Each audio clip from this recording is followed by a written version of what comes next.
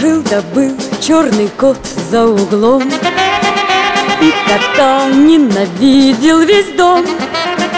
Только песня совсем не о том Как не ладили люди с котом так же, как именитый писатель Достоевский, его пятилетний тезка Федор Михайлович любит, чтобы в жизни все было логично и оправдано.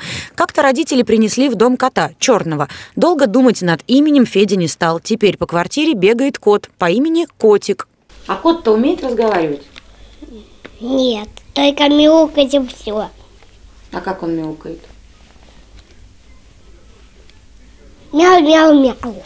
Праздник День черной кошки придумали в Италии в 2007 году. В Милане и Риме даже проходят парады и пикники, на которые люди приходят вместе со своими усатыми друзьями. Сейчас все-таки редко встретишь тех, кто верит в невезение от черных котов. Не то, что раньше.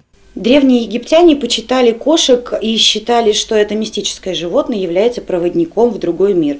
Своих хозяев по другим мирам этот котик не водит, но жизнь в доме делает теплее и явно интереснее.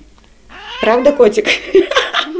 Несмотря на расхожее отношение к черным котам, Фединому котику в жизни повезло. Кошачьи конфеты уплетает как хомяк и хозяина своего не обижает. А пока наоборот